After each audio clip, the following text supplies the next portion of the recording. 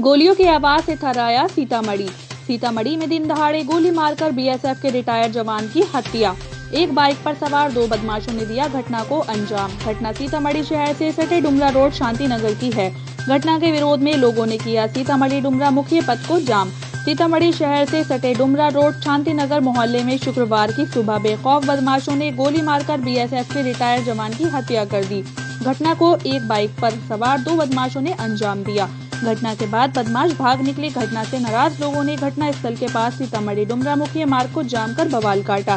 सूचना के बाद मौके पर पहुँची पुलिस को शव लेने में भारी आक्रोश का सामना करना पड़ा। मृतक की पहचान राम कृपाल चौधरी 50 वर्षीय के रूप में की गई। तक मूल रूप से मधुबनी ज़िले के मधुवापुर थाने के बिहार गाँव का निवासी था। पिछले डेढ़ साल से राम कृपाल चौधरी शांति नगर मोहल्ले में गुड्डू झा के मकान में बतौर किराएदार रह रहा था। साथ में उसका पुत्र अरविंद कुमार चौधरी भी रह रहा था। अरविंद निजी सोसाइटी कंपनी में सुपरवाइजर का काम करता है। बताया गया है कि अरविंद की सास शहर में एक निजी अस्पताल में भर्ती हैं। शुक्रवार की सुबह पिता पुत्र अस्पताल में मरीज़ से मिलने गए थे। बाइक पर सवार होकर लौटने के क्रम में मुख्य मार्ग से 20 मीटर की दूरी पर एक बाइक पर सवार दो बदमाशों में से एक ने थप्पड़ मारकर अरविंद को गिरा दिया। वहीं दूसरे बदमाश ने राम कृपाल चौधरी के सिर में गोली मार दी, जिससे मौके पर ही उसकी मौत हो गई। तत्काल घटना की वजह स्पष्ट नहीं हो सकी है। लगा हुआ है। तो